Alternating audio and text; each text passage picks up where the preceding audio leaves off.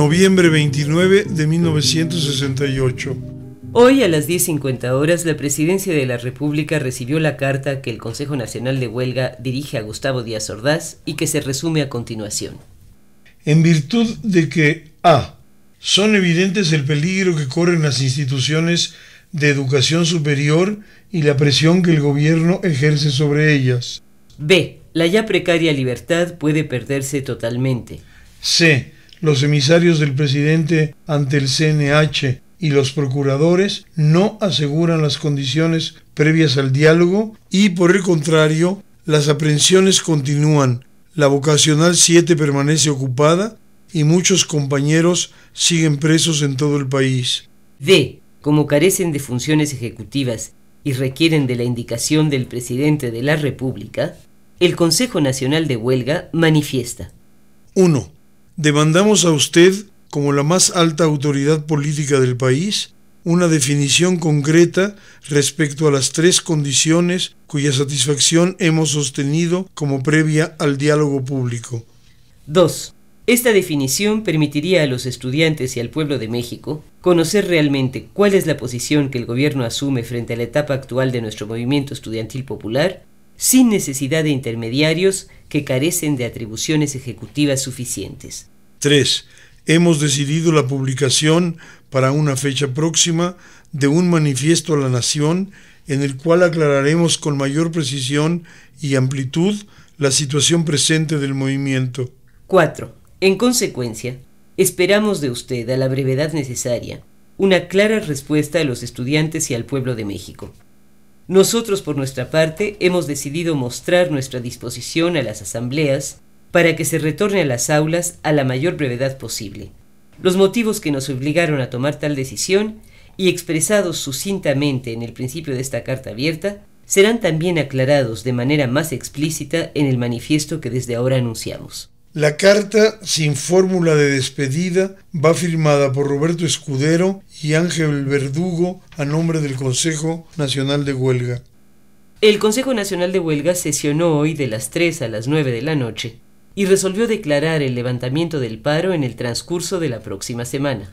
El Consejo Nacional de Huelga declaró que es falsa la información oficial aparecida en Semana Universitaria, según la cual estudiantes de las vocacionales 2 y 5 agredieron el día 27 a los estudiantes de Prepa 5.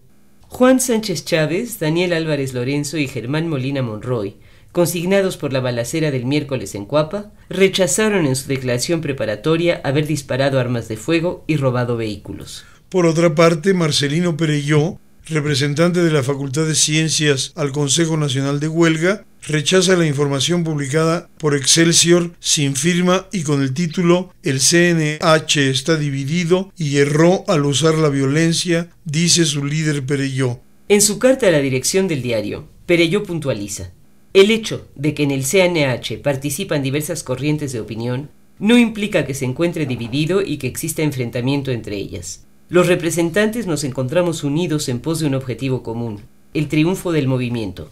La democracia permite la participación de toda posición política consecuente con nuestros fines, desde demócratas cristianos hasta los más radicales de la izquierda.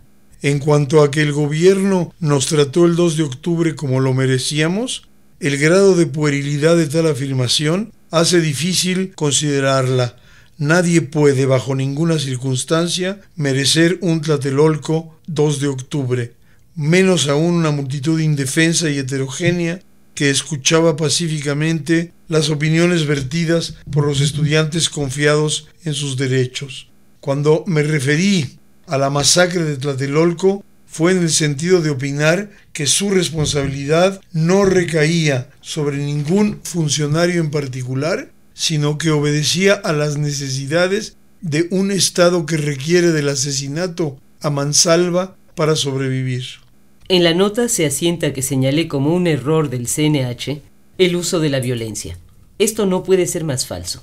El Consejo Nacional de Huelga es perfectamente claro en el carácter democrático de sus fines, así como de los medios que ha utilizado y seguirá utilizando. No habiendo utilizado nunca la violencia, difícilmente puede haber errado por usarla.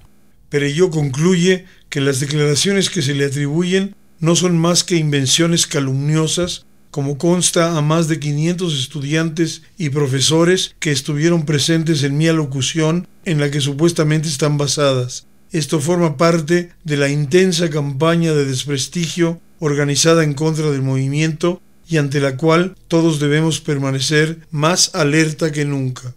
Y hoy fue sepultado en el Panteón de San Isidro Víctor Eugenio Ramírez Clachar, muerto el miércoles 27 durante la balacera en la preparatoria 5. Y esto resume lo ocurrido el día de hoy, 29 de noviembre de 1968.